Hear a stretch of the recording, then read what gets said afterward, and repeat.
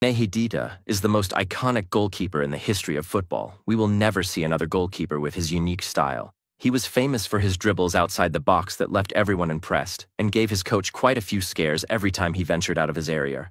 Some even thought he should leave goalkeeping and become a forward. But there was one moment that will be forever etched in the history books.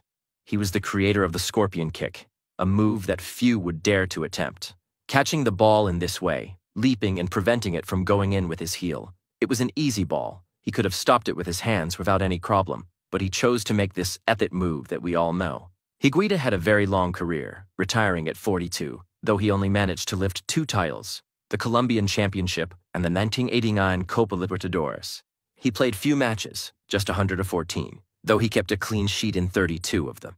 The only European club he played for was Real Valladolid, though he was there for just six months. Unfortunately, he never managed to play for a European giant despite his enormous talent.